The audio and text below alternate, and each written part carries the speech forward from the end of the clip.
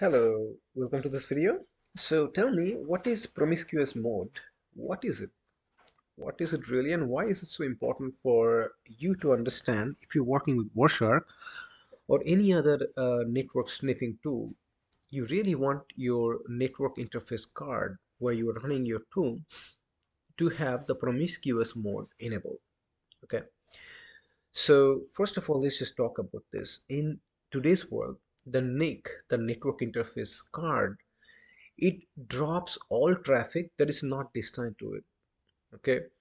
So if you're sending a packet in a in an in a network environment where the packet is destined to you, like if I say a broadcast, and if it's not destined to me, I'm gonna I'm gonna drop it.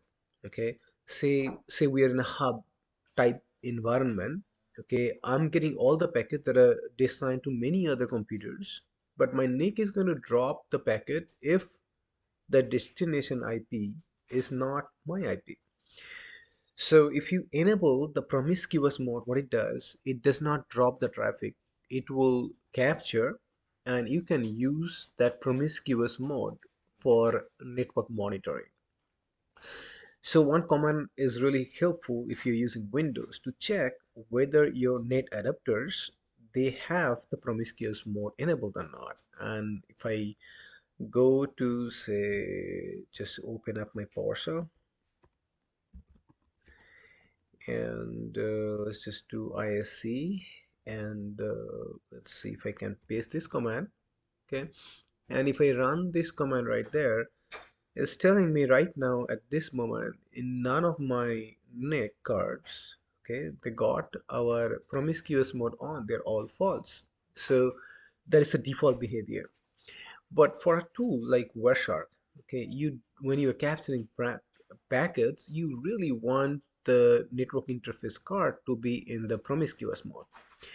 Now to do and make sure that you have the promiscuous mode enabled you would go to the capture and then you go to the uh, options.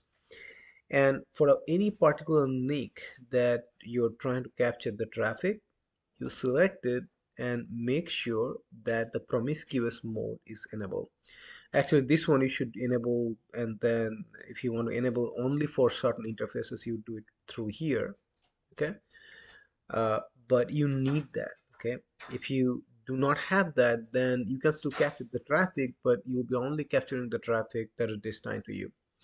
So best practice make sure that this is enabled. And if you take the mouse over there Wireshark is also telling you you probably want to enable this. Usually a network card will only capture the traffic sent to its own network address.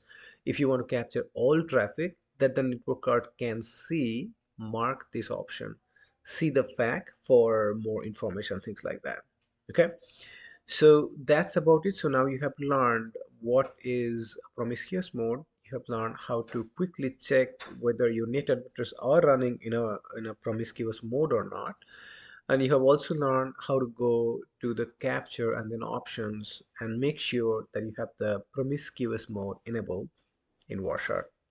Thank you. Hope it was helpful.